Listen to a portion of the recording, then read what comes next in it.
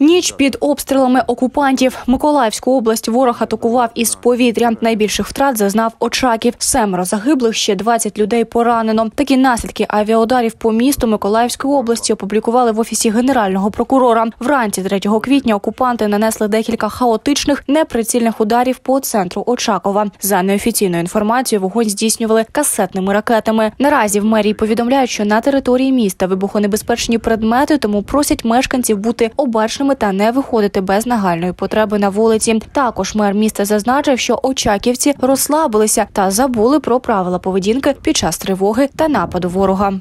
Що мене сьогодні здивувало, що під час обстрілу деякі наші мешканці намагалися вийти з будівлі під час обстрілу і подивитись, що ж там відбувається. Деяких я бачив навіть на дахах будинків.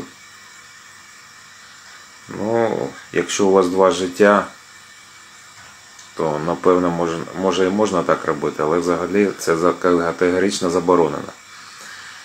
Сьогодні було нанесено декілька обстрілів саме по е, цивільним мешканцям, по нашим людям.